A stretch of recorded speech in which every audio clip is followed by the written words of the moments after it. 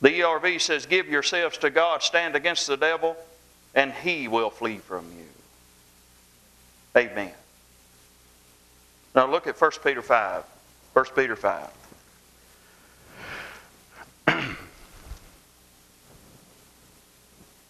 First Peter 5. Fasten your eyes on it. 1 Peter 5 and verse 8.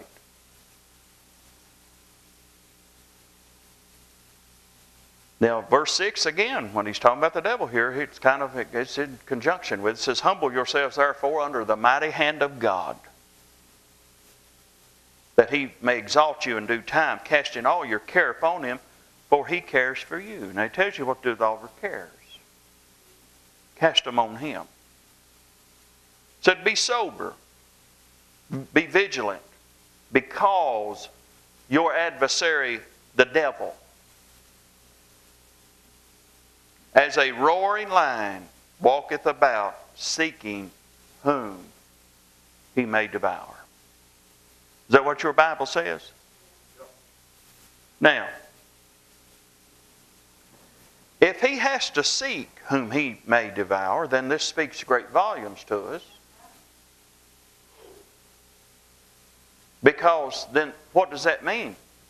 He has to seek whom he may devour.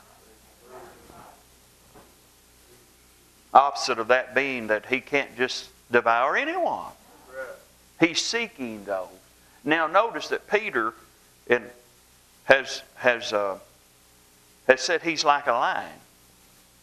Well, if you know anything about a lion,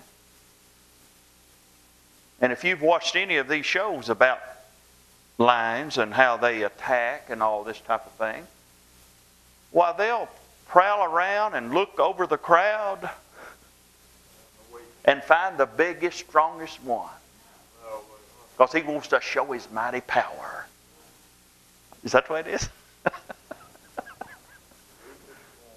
he's going, he's going to find the biggest, healthiest animal, preferably male. And he's going to come out and show his mighty power. And he's going to take him down. And he's going to devour him. That ain't what to do at all, is it? No. what they do is see, search out the weakest one. Right. They'll search the they'll search the crowd.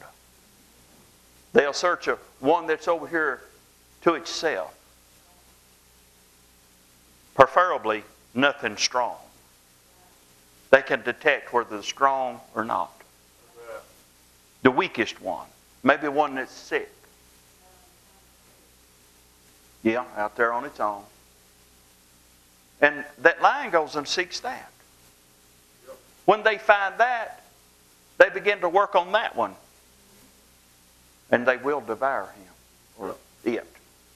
Now, here he says, Be sober and be vigilant, because your adversary, the devil, as a roaring lion, walketh about seeking whom he may devour.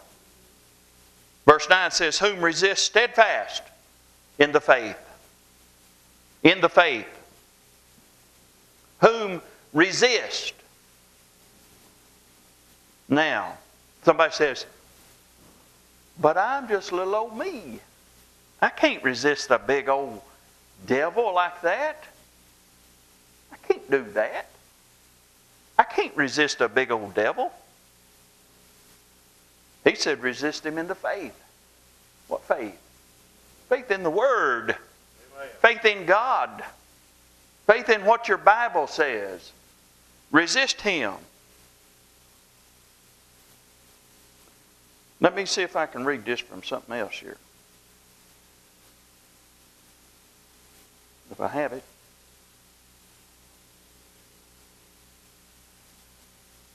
The NLT in, in, in verse 8 says, uh, Stay alert. Watch out for your great enemy. Stay alert. Watch out for your great enemy, the devil. The CEB says, be clear headed. Clear headed. What does that mean you need to know? Does that mean you need to be thinking clearly?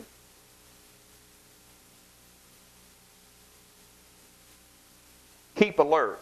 Your accuser, the devil, is on the prowl, like a roaring lion, seeking someone to devour. It says, resist him, standing firm in the faith.